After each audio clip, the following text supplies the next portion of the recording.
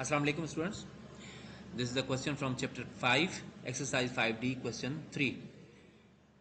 A van can ferry a maximum of 12 people by setting up an inequality. Find the minimum number of vans that are needed to ferry 80 people. Here we understand that what is ferry.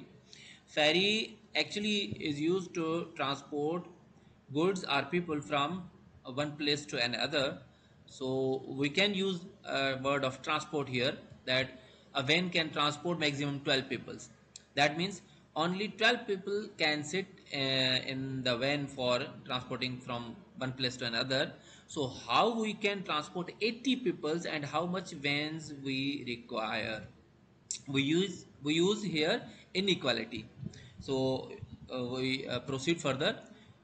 For solution we suppose that the uh, number of vans we need need are x we suppose here let x be the number of vans needed.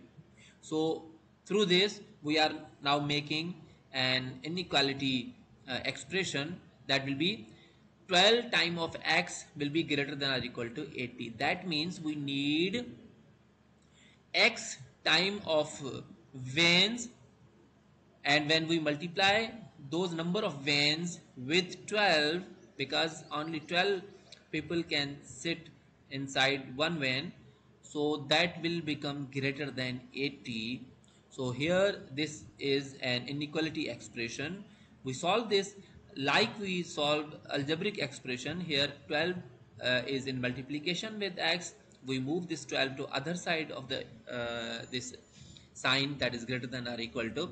So it will divide 80 so in next step x will be greater than, greater than or equal to 80 divided by 12 here we simplify or divide uh, 80 by 12 we cannot read table 12 up to 80 uh, up to a fixed number. So when we divide this through our conventional method the answer will be 6.666 and so on.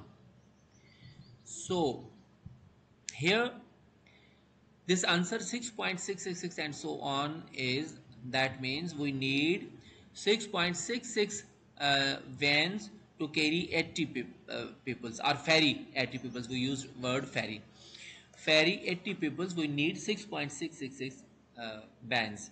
Now if we need 6 vans to ferry peoples and one van can ferry 12 people that means 6 van uh, can ferry 72 people so still 8 people are remaining. So how we uh, make half of the van that means we need a complete van so we convert this number 6.666 to whole number or round off this number to nearest whole number.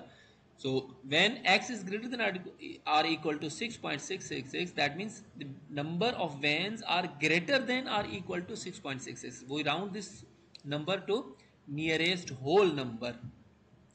Students, you know that when we round off the number, then we underline one number and uh, circle uh, other one. When we circle the number 6 that is after decimal, this one, when we circle this number and underline this number, so this number is uh, more than 5, we add one number to this and remove these numbers. So answer will be x is greater than or equal to 7. That means we need at least 7 or more than 7 vans to ferry 80 peoples.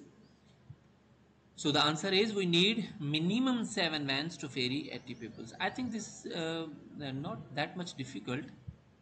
This is just like algebraic expression. We have to solve these uh, by moving numbers from here to there and their sign will be opposite if they the number is of positive sign when it is moved to other side it will be negative. If the number is uh, in multiplication when we move that number to other side it will divide.